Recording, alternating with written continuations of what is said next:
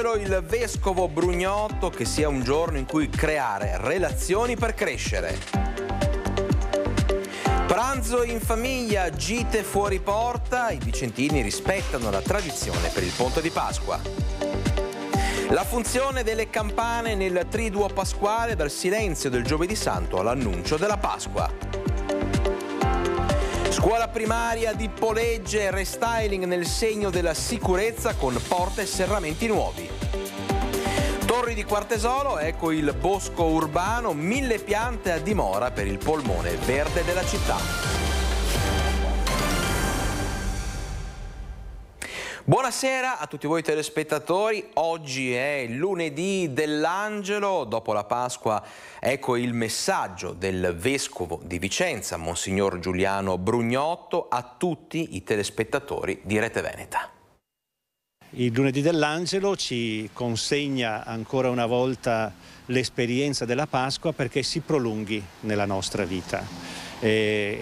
L'ottava di Pasqua è un tempo molto bello perché quelli che sono appena stati battezzati tradizionalmente nella Chiesa vivono l'inserimento nella Chiesa partecipando ogni giorno all'Eucarestia, cioè a quel segno nel quale il Signore Gesù ha voluto che noi sperimentassimo ancora la sua Pasqua per tutti i tempi e allora anche Pasquetta che possa essere un giorno di tranquillità, di riposo per tante persone sia anche il momento di ricreare relazioni belle, positive che ci aiutano davvero a crescere.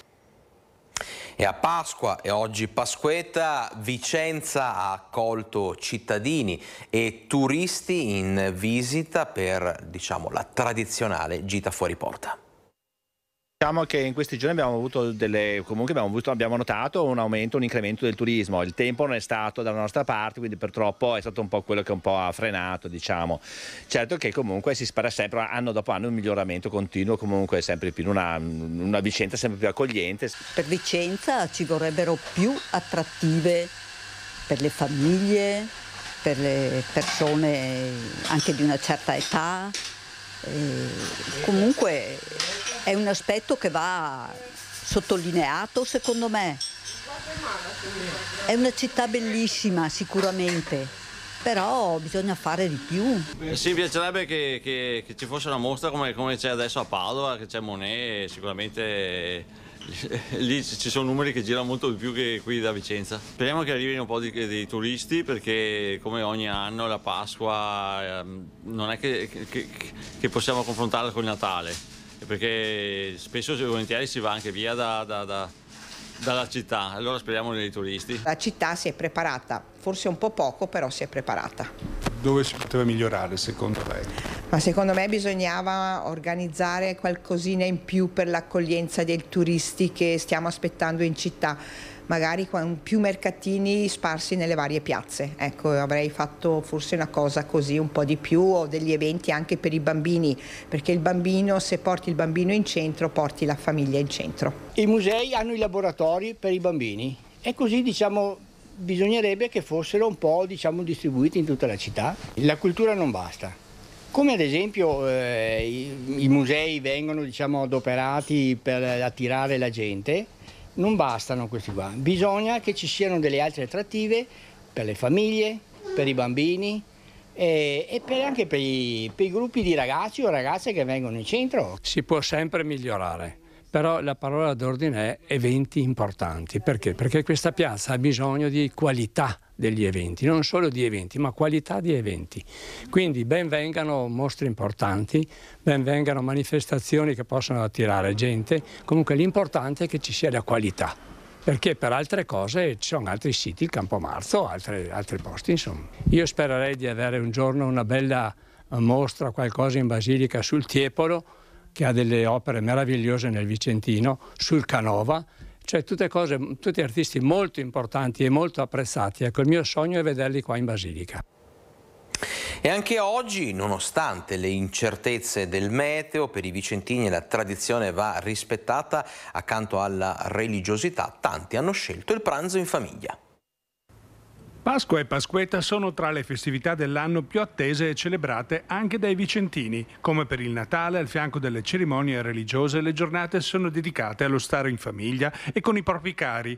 Ecco che il pranzo diventa l'appuntamento più importante, accanto però anche al picnic e alla gita fuori porta. Un programma tradizionale che ancora viene sostanzialmente rispettato dai vicentini. La Pasqua di quest'anno eh, io la festeggio a casa con tutta la mia famiglia, un momento di gioia dove figli, nipoti ci troviamo tutti per festeggiare.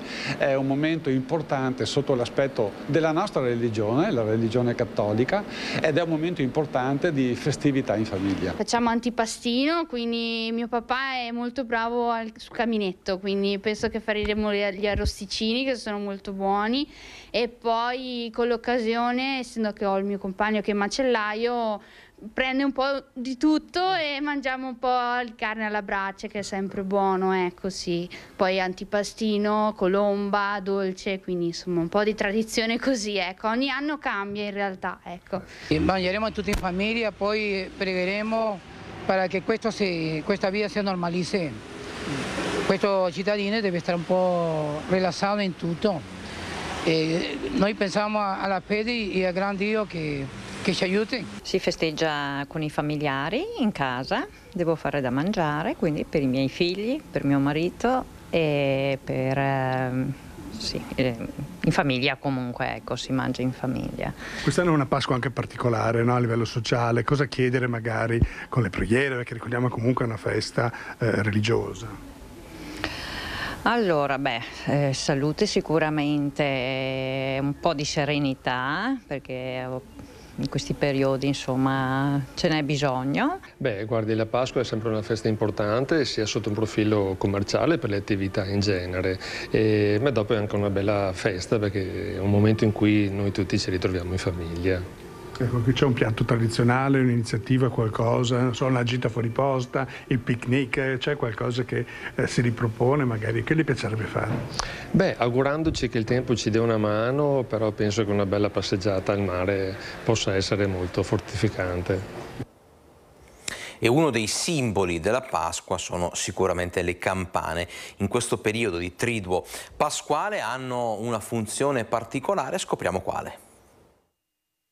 Campane a festa, uno dei simboli più rappresentativi della Pasqua, ma non tutti sanno che a Pasqua non si dice tanto che suonano le campane, ma che si sciolgono le campane. E il motivo ce lo spiega proprio uno dei due campanologi, studioso ed esperto di campane sia dal punto di vista storico sia della composizione sia del suono, presenti in Italia vicentino ed è sempre appassionato di quella voce, la campana, che in questo periodo annuncia la gioia della resurrezione. Campane che restano in silenzio per due giorni, dal giovedì al sabato, e una volta per evitare che il vento facesse oscillare i bronzi e le facesse rintoccare, se ne legavano le corde per poi scioglierle ad annunciare l'arrivo della Pasqua. Dalla messa in cena domini del giovedì sera, quindi giovedì santo, le campane suonano un'ultima volta.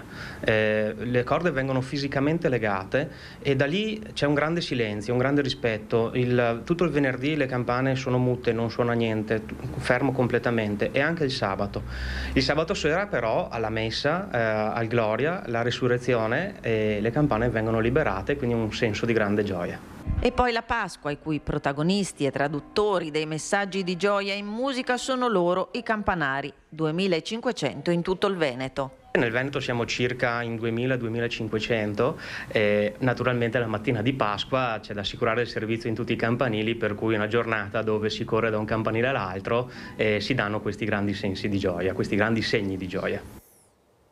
Nuove porte e serramenti alla scuola primaria di Polegge, vediamo.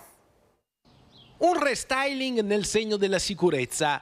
Nella scuola primaria Paiello di Polegge vengono rifatte le porte sulla facciata principale, oltre a tre serramenti della biblioteca al primo piano. Un intervento da 16.000 euro molto atteso dalla scuola, che ha richiesto anche l'autorizzazione della sovrintendenza, essendo la palazzina sottoposta a tutela culturale. Complesso molto antico e che abbisognava di mh, lavori importanti. L'amministrazione li ha promossi e stanno terminando per dare anche il giusto contenitore a questa proposta educativo-didattica davvero particolare. Da molti anni Poleggia è un punto di riferimento mh, didattico per un sistema che mette al centro della proposta educativa il bambino e la bambina, con una serie di iniziative dalla scelta di non avere dei testi, libri di testo definiti, a una didattica che si ispira al cooperative learning, ma anche a una promozione forte della lettura. E non a caso siamo in una biblioteca molto bella, non a caso abbiamo una cassetta pubblica di scambio libro in piazza proprio di fronte alla scuola,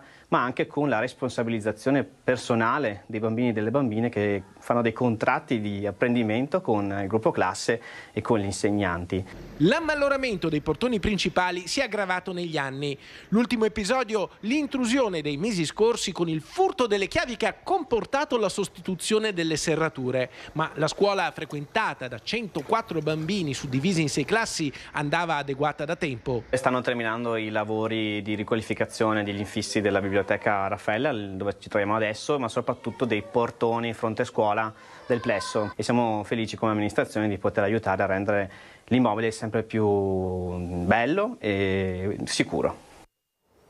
Ci spostiamo a Torri di Quartesolo dove nasce il bosco urbano.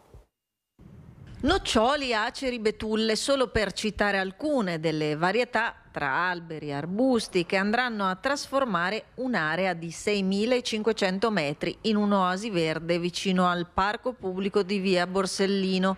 Si tratta del bosco urbano di Torri di Quartesolo, con le sue nuove 1120 piante che serviranno ad aumentare la biodiversità, migliorare la qualità dell'aria e contenere le ondate di calore. L'obiettivo è di creare una fascia boscata, un polmone verde, una fascia boscata che serva per, eh, diciamo che eh, il, il, cambiamento climatico imporrebbe di, eh, appunto di, di, di, creare queste fasce boscate. Questo sarà proprio un bosco, non sarà un parco pubblico, abbiamo già il parco pubblico. E questo sarà utile per, per eh, il risanamento dell'aria, per, per, fare in maniera che qualche volta piova, ma piova in maniera più regolare rispetto a quello che sta succedendo in questo momento e per, e per eh, limitare le ondate di calore perché c'è, da tenere conto di questo. D'estate noi abbiamo sempre più spesso ondate di calore, quindi le fasce boscate servono a mitigare questo effetto. Il bosco urbano di Torri assolve anche ad un'altra funzione, quella di bacino di laminazione. Con questo spazio otteniamo due, due risultati. Eh, crea, abbiamo creato un bacino di laminazione per, per salvaguardare due quartieri, il quartiere Primavera principalmente e anche il quartiere Betulle e una parte dell'area Piramidi. Ecco, quindi questo, questo, è un bacino che assorbe i, i, i, i picchi di piena di una, di, di, dello scolo di, queste, di questi quartieri. E, e, e quindi nello stesso momento è bacino di laminazione ma anche bosco urbano. È tutto per questa edizione di TG Vicenza, io rinnovo ancora una volta gli auguri di buon lunedì dell'Angelo e eh, vi auguro un altrettanto buon proseguimento di serata sempre su Rete Veneta.